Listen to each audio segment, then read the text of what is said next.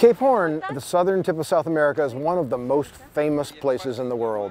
It has a reputation among mariners that exceeds practically any other well-known point on the entire planet. Year-round, strong westerly winds blow through this passage between South America and Antarctica and it was an extremely difficult place for sailors to transit.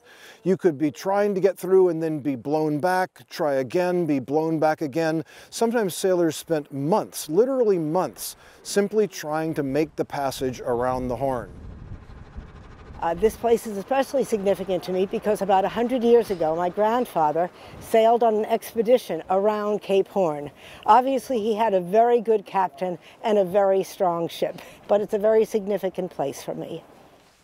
So here in Cape Horn, we are just uh, making sure that all the passports are getting stamped since it's uh, so difficult to land here, it's uh, very frequently that uh, we have to bypass rather than land. So it's a very unique stamp to have in your passport as a souvenir.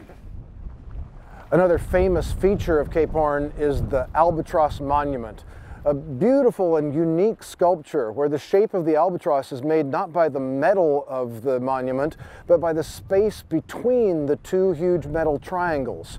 For me, it's a great idea because there's a beautiful poem on the plaque here that talks about the albatross carrying the spirits of dead mariners from all around the world.